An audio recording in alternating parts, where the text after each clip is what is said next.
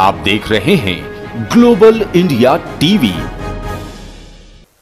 नमस्कार, मैं हूँ अभिषेक और आप देख रहे हैं ग्लोबल इंडिया टीवी। आइए आपको ले चलते हैं आज की बड़ी खबरों की ओर। कलेक्टर और जिला निर्वाचन अधिकारी अरविंद दुबे तथा एसपी विकास कुमार शाहवाल द्वारा सिलवानी नगर परिषद के मतदान केंद्रों का निरीक्षण करते हुए मतदान प्रक्रिया का अवलोकन किया जा रहा है। नगरीय निकाय निर्वाचन के प्रथम चरण में आज रायसेन ज़िले के तीन नगरीय निकाय सिलवानी, बाड़ी तथा बरेली में पार्षद पदों के निर्वाचन के मतदान हो रहे हैं। चुनाव निष्पक्ष, शांतिपूर्ण तरीके से कराए जाए। ग्लोबल इंडिया टीवी के लिए रायसेन से शिवलाल यादव की रिपोर्ट।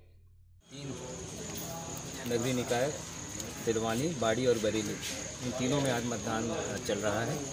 और जो भी चुनाव आयोग की तरफ़ से निर्देश हैं और जो व्यवस्थाएँ प्रशासन द्वारा की जानी चाहिए कि अच्छे मतदान के लिए वो की गई हैं।